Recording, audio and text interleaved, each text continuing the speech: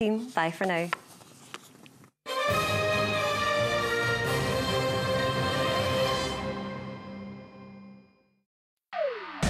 Holding on to a dream. Decisions in Scotland making Scotland fairer. Decisions taken at Westminster holding Scotland back, and that is why Scotland must become an independent country.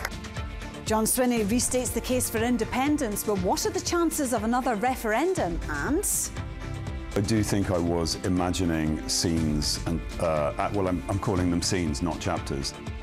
actor Richard Armitage on being an actor who writes thrillers.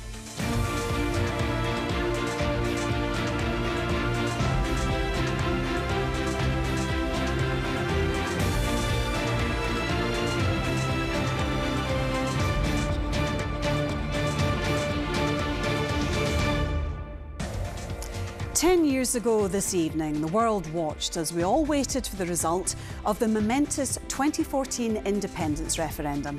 On a huge turnout, Scotland ended up voting to stay in the UK by 55% to 45%. The fallout has framed the last decade in Scottish politics, and tonight pro independence supporters held a rally outside the Scottish Parliament. We believe the time is right now to redouble our efforts, and we don't think it's going to take another 10 years to deliver Scotland back to its natural state of being an independent nation on the world stage. Because we've been active, the side that, strangely enough, lost the referendum, here we are celebrating a defeat. And actually, it's more celebrating that we're still here and we haven't gone away over 10 years. The fact there's still support for independence, we know that that, that sentiment's there. How do we action that and how do we mobilise it? And it can't just be electoral, it got, it's got to be a citizens' movement. And that's what this is here today. I think that we're, we're starting to reach that tipping point now. This is 10 years on, it's a big milestone, um, but I've still got that hope, and there's so many people around here that have still got that hope. Well, one journalist who covered the referendum campaign and has continued to keep across every twist and turn of the debate is STV's political editor Colin Mackay. On this landmark anniversary, he joined us from Holyrood. Ten years on from losing the referendum, the Yes campaigners have been making the case for independence today. What's the, how would you describe the mood in the Yes camp? I don't think it's confident, Rona. There's nothing really much to be confident about. Ten years on, you know, it slipped down the agenda. The SNP got an absolute trouncing at the general election just a couple of months ago. But not only that, if you look at the kind of wider Yes movement, there's been a fair bit of splintering. You know, you had Alba shearing off from the SNP, led by Alex Salmond, with the whole kind of big row that's going on there. There have been splinter groups leaving Alba since then as well. You've had the big row between the, the big fallout between the SNP and the Greens Greens. The Greens kicked out of government. There doesn't seem to be much lost, uh, love lost there. Now, there was a debate in the chamber earlier on, and Lorna Slater was talking about putting the Yes band back together. I'm not convinced there's any real chance of that right now. There's a few, there's, there's just a few too many discordant notes on that front. Uh, let's take you back a, a decade, Colin. What was it like for you covering the referendum campaign? As a journalist, it was incredibly exciting. This was probably the biggest Scottish political story I'm ever likely to cover, unless perhaps, you know, 10 years' time we get another Indy Ref 2, something like that, I don't know. But, you know, so far, I, I can't imagine a bigger Scottish political story than that. You know, I mean, you're talking about, you know, the decision of the future of your country placed in voters' hands. That is absolutely massive. So it was, it was an incredibly exciting time to report it. Now, I think there are differing views on different sides of the actual debate debate, though. You know, today you had John Swinney talking about how important it was and how exciting it was and how, how positive the whole event was. But I remember speaking to Alistair Darling, who, who led the Better Together, and he said it was a truly awful time to be involved in politics from his point of view. So, you know, I can see both sides of that politically, but as a journalist, it was, you know, it was a proper festival of politics.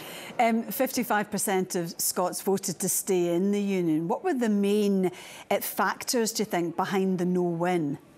I think the biggest factor was risk. People were worried about the, the, the, potential risk to the economy, to their pensions, their mortgages, things like that. And if you go back to the huge STV debate, which really kick-started the whole final stages of the campaign, the key issue that night was currency. What currency would an independent Scotland have? What was the plan B? You know, that, that, that, that, that famous uh, line from Alistair Darling to Alex Salmond at the time, which was that, you know, the capital will be Scotland, the flag will be the Saltire. What will the currency be? Now, Alex Salmond's answer to that was the pound, but it was pretty much dismissed by George Osborne, the Chancellor at the time, all the other UK parties as well, saying, well, you're not getting to use the pound. And that just created that that doubt in a lot of people's mind, and I think that was probably enough. But it, it, fundamentally, it just came down to the risk not being dealt with. And where do you think the constitutional debate goes in the next months, years?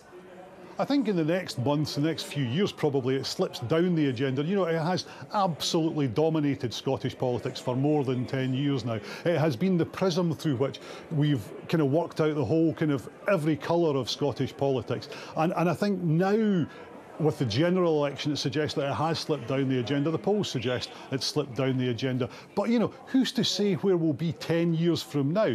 2034, that will be 20 years, a generation on. It was supposed to be a once in a generation event. Well, maybe we'll be ready for another generational event in 20 years' time. But, you know, who could possibly even guess where Scottish politics will be by then? Yeah, absolutely. Colin, thanks so much for joining us this evening. If Scotland is ever to become independent, pro independence campaigners will have to win over more Scots.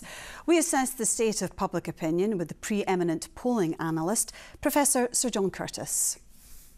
So the no side won with 55% of the vote compared to 45. Over the last decade, have we seen much of a shift in public opinion?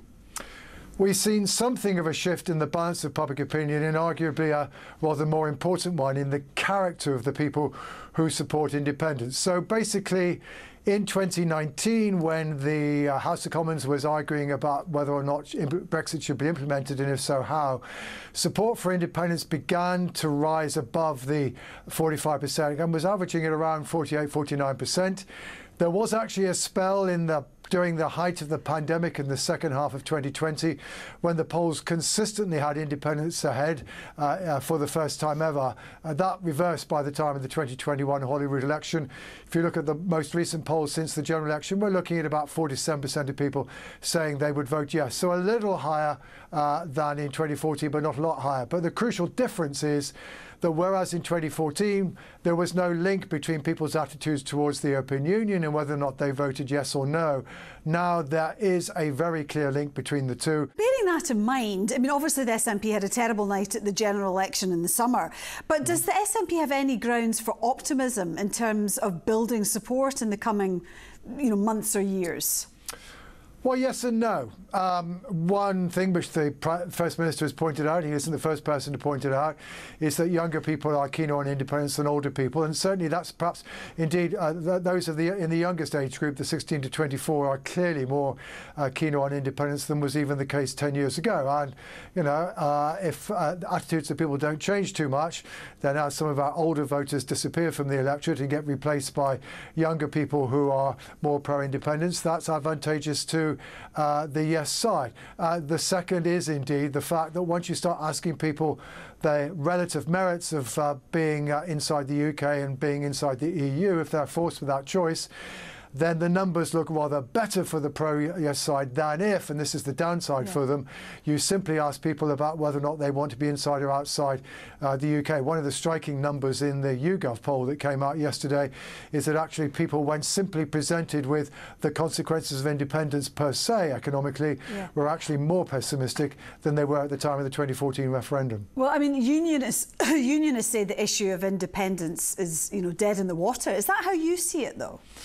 No, I think how I would describe it is that the whole thing is in neutral for two reasons. One is that the event that in effect uh, killed the prospect of an independence referendum anytime soon was the Liz Truss fiscal event. That opened up a prospect of a majority Labour government, and that meant, therefore, there was no pathway for the SNP to be able to get an independence referendum via a hung parliament. So that was the first uh, crucial thing. The second thing, of course, is that the SNP as a political institution uh, are not as popular as they were, and about 20% of people who would still vote yes voted for Labour in the general election.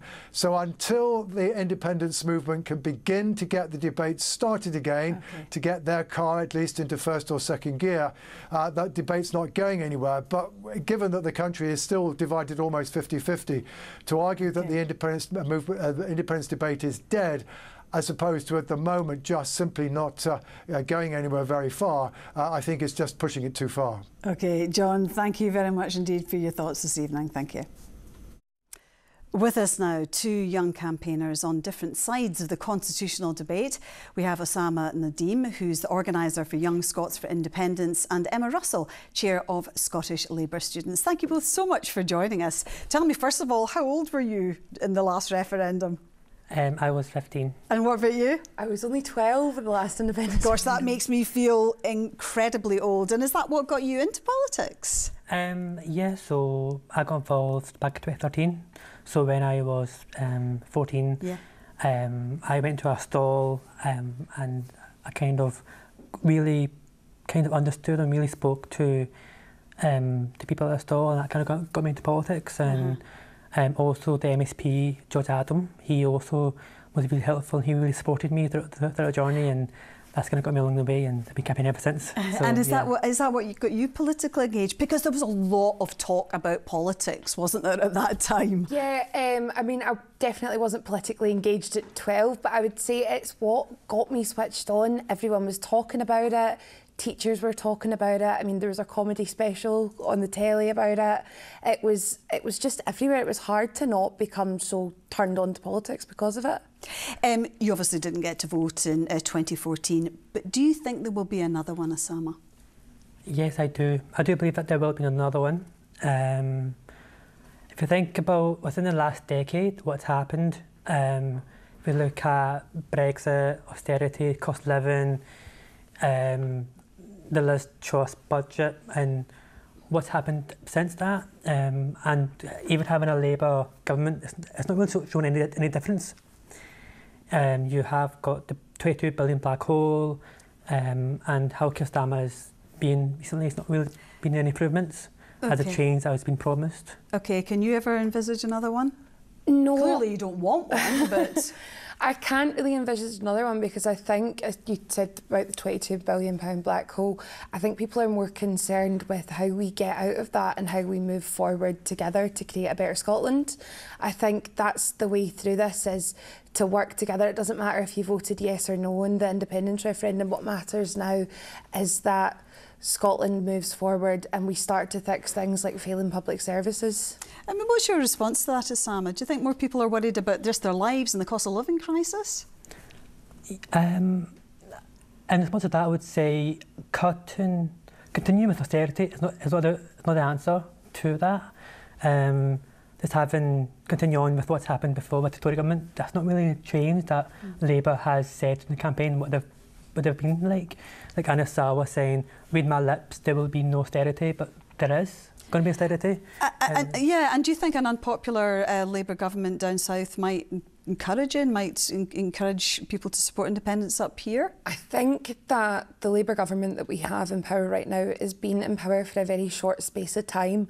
So to make sort of judgments on what the Labour government has done when we're faced with this economic pit of despair is very quick. I think that as we move forward and we move on to 2026, that the way forward is through and mm -hmm. people will still be concerned with their cost of living and the pound in their pocket. I mean, Osama, what about, you know, the practicalities? How would you get one? What form would it take? Would it be another referendum? Would you have to wait to get uh, the go-ahead from Westminster? How would you see it happening? Um, I would see it as an, like it was last time, a referendum, a democratic referendum, um, which helped both sides. Mm -hmm. um, so I do believe that's kind of the way forward. Um, talking to people, talking to each other, getting talking to friends, family and neighbours, mm. you know, talking, having a big mo movement, a big discussion on yeah. it. And, and do you, can you foresee any unionist party agreeing to one?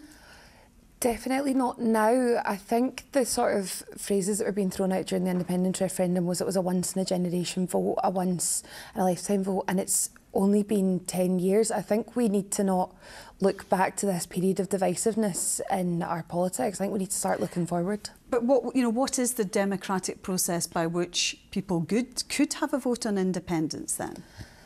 I think that certainly returning a majority government to Westminster with 37 Scottish Labour MPs is not the way. I don't think Scotland's indicated a preference there. I think we have to move forward. I don't think that every election should be treated as a process for this, and I think that time does need to pass before the question comes up again for it to be truly democratic. Okay. Uh, Osama, just very briefly to finish, when do you think it might happen? Putting you on the spot. um, I do believe it will happen within my lifetime. Um, in your lifetime. We'll yeah. have to leave it there, Yeah. but thank you both very much indeed for joining us this evening. Thank you. Now, the multi award winning actor Richard Armitage is known for his roles in a whole host of films and TV dramas, from Spooks to The Hobbit, from The Stranger to Red Eye. In recent years, he's also turned his talents to writing thrillers. His debut novel, Geneva, was widely acclaimed and is now out in paperback. Last Friday, Richard headlined the opening night of Stirling's prestigious Bloody Scotland Crime Writing Festival. While he was in Scotland, he came into the studio to discuss his writing. So you have a, a really successful acting uh, career. What made you take up writing? Uh, it was an invitation from Audible, who had looked at the people that were listening to my, my work as a reader. I think they'd also been looking at um, perhaps the people that were tuning into me as an actor, and they sort of did some calculations and, and said to me, Would you be interested in writing a crime thriller? And I immediately said, Yeah, I'd love to. And then they talked about ghostwriter, and I said, absolutely not. I want to write this myself. So I sort of had to audition my writing process by giving them little samples of writing, and then it, it became an audiobook for a year, and then print, and now paperback. And had you had you had literary aspirations? Um, the not not really. I mean, in, only in terms of um, dreaming in stories. So you know, m- my journey as an actor has always been about storytelling. When I've when I've ever prepared character, I've always written biographies for them, and that has been uh, a literary experience. I've, I've sort of filled in all the blanks that the the writer hasn't given me, and I've done it purely for for pleasure, but also for research. Um, so I, I've written uh, short form, but nothing at this length. Okay. Um, your book, Geneva, uh, which I really enjoyed, is really fast paced thriller with lots of twists and turns. Where did you get the idea from? So um, the invitation to write came just as we were in lockdown, and I'd been watching lots of uh, footage of Sarah Gilbert, who developed the Oxford AstraZeneca vaccine program, and I was I was really kind of impressed with her um, self assurance and her calm uh, resilience during that time of panic. And I thought, how interesting to take a character like that and stress test someone by making them not trust their own mind. And I thought that's that's the foundation stone of, of a plot to take a Nobel Prize winning scientist and then give her what she thinks is um, an Alzheimer's diagnosis and then put her at the center of a crime where the people closest to her are not telling her the truth. And it just that was the, the trigger for the story. Let's not give too much No, away because there away. are lots of twists and turns in it, as I said.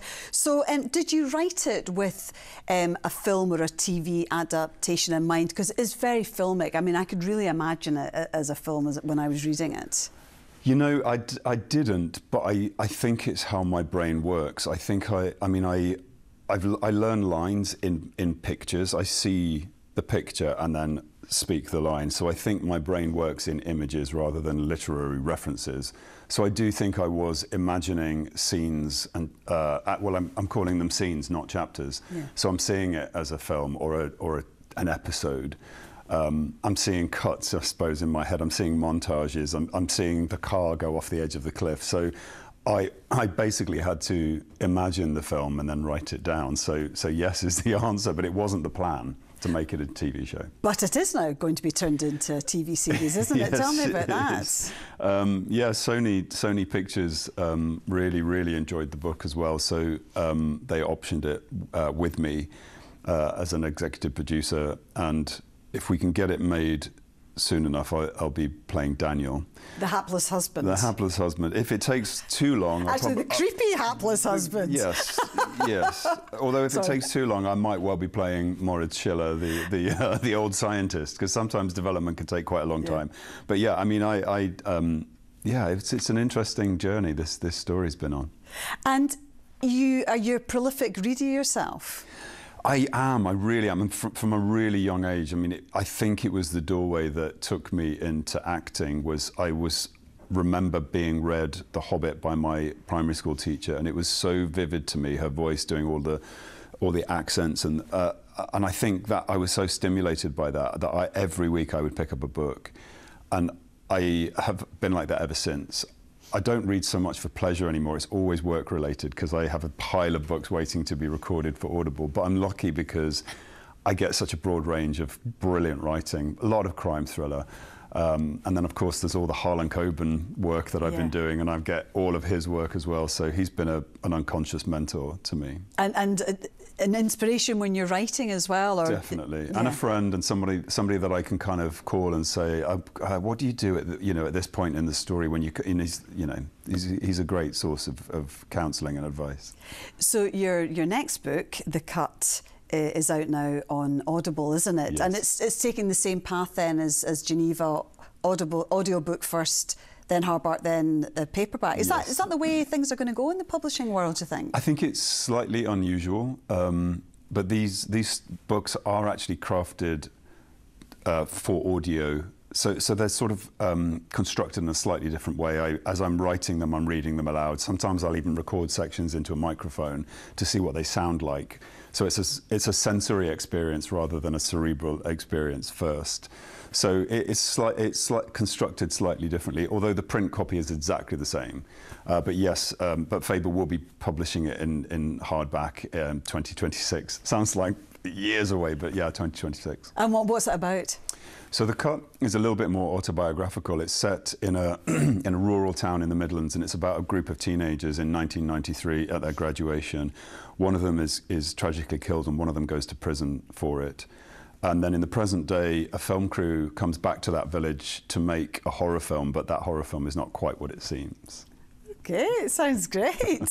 and you know, audiobooks are really, really popular these days, but some people can be a bit sniffy about them and say it's not proper reading. Yeah. But do you think anything that gets people into books in general is a good thing? I yeah, I mean I don't care how you get story as long as you're getting story. And and you know, I I always think about um, the people that I'm reading to when I sit down in front of a microphone. And I, I think about people that have got long car journeys. I think about people that are doing manual work. The guy that sculpted my face on The Hobbit, who did all of the, the Thorin um, prosthetics. I mean, I think we did 15, he did 15 versions of that face. And I would go in and talk to him, and he had headphones in, and he'd say, I'd be like, What are you listening to? And he said, Oh, I'm listening to, to audiobooks. Yeah. And he'd get through a book a week. And I think about him and like these people that do that kind of work. And so I'm talking to those people. I love it. Yeah. Oh well, I, I mean, I enjoy audiobooks as well. Um, well, thank you so much for joining us, and good luck with the TV the TV series. Uh, I look forward to watching Thanks it. Thank you so much, me. Richard. and that's all from Scotland tonight. I'll be here tomorrow at 8:30. Until then, Ed Sheeran went viral today after he shared a video of himself interacting with a passing jogger. Here's one last thing. Hello. Any requests? Um, could you, um, Tenerife Sea? Yeah. You look so wonderful in that dress. I love your hair like that. The way it falls on the side of your neck, down your shoulders and back.